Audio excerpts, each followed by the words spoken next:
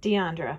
I spent way too long yakking with Tanisha over lunch. She couldn't stop talking about Pedro Pietri, the poet Mr. Ward had invited to visit our class.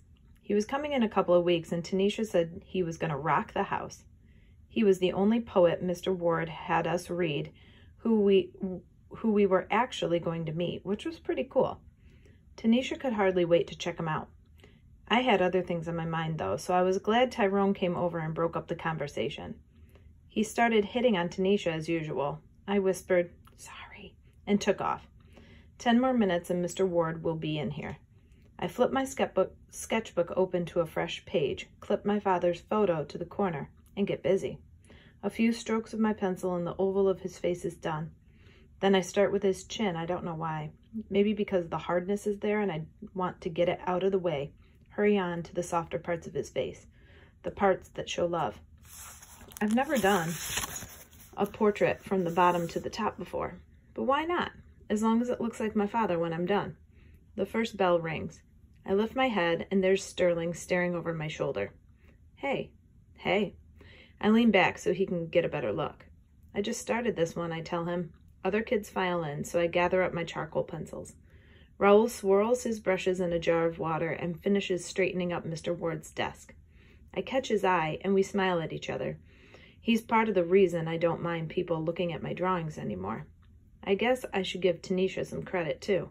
It was her bright idea to have those book have me do those book report covers. The day we got our reports back, Mr. Ward held mine up so everyone could see the cover.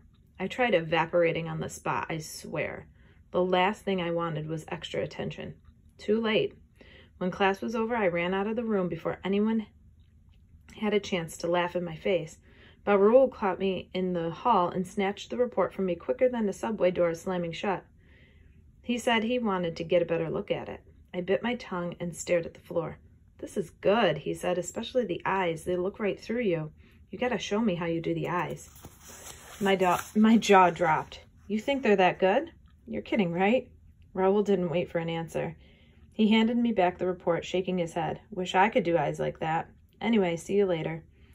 I looked down at my book cover as if I was seeing it for the first time. Raoul was right. The drawing was good. The eyes did look right through you. Maybe I should try working on the rest of the face, I thought. I could do studies of mouths and chin, noses and chins. I could try different kinds of faces, different shapes. I could get mom to model for me, or Tanisha, or I could use pictures. We only have a bazillion photo albums around my house. Maybe I could bring one of them to school with me. Or I could just borrow a few of the pictures and then put them back later. Maybe. I had a hard time concentrating on my classes that afternoon.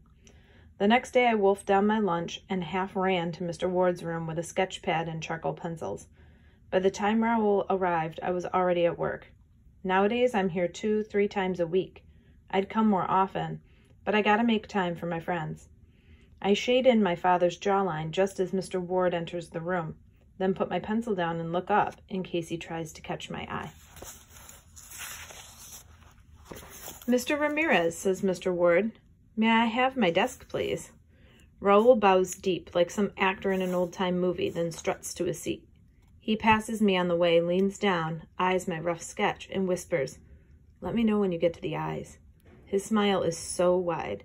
My, my smile is so wide, my cheeks hurt. Open mic. High Dive by Diondra Jordan. A trip to the city pool ain't what it used to be. I left the kiddie pool behind many moons ago.